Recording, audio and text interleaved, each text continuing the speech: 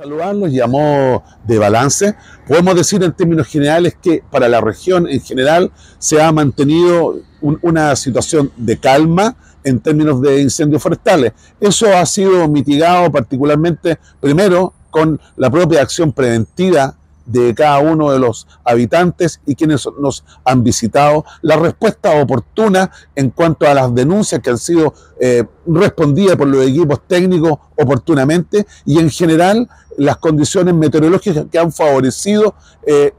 que no tengamos presencia ni acciones de eh, incendios forestales en la región. En términos generales, a modo de balance, la situación de incendios tiene que ver con que mantenemos aún a la fecha nueve incendios controlados en la región eh, y, particularmente hacia las comunas de Puerto Montt, Dancagüe y Chonchi. Sí mantenemos tres incendios en combate que están relacionados particularmente con la comuna de Puerto Montt.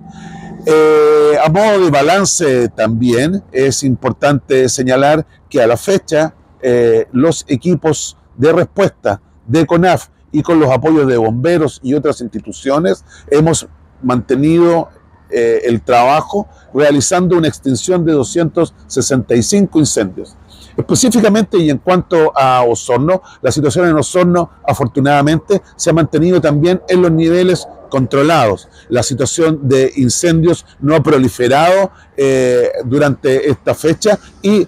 felicitamos y agradecemos primero la acción de la comunidad que ha ido dando aviso oportuno para, como señalábamos, las respuestas eh, las respuestas técnicas de los organismos. En general, mantener siempre la recomendación, primero del autocuidado, segundo la denuncia, el aviso oportuno, porque todo incendio que, o principio de incendio que se avisa oportunamente, nos permite ser eficientes en la respuesta.